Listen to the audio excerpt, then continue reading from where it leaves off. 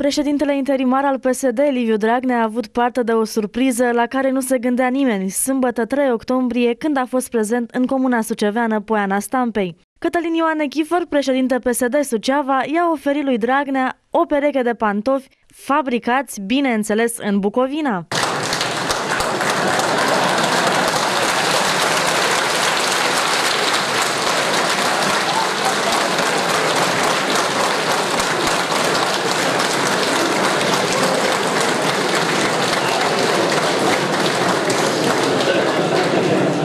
Fabricați, bineînțeles, în Bucovina.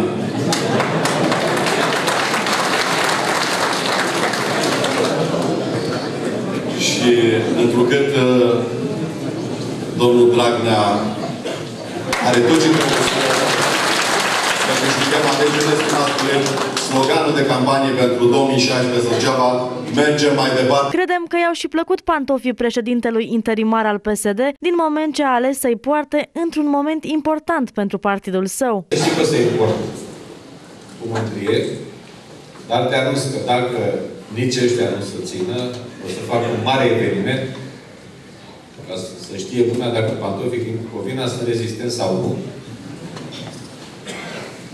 Și să știi că o să mă încarc cu ei chiar la congres.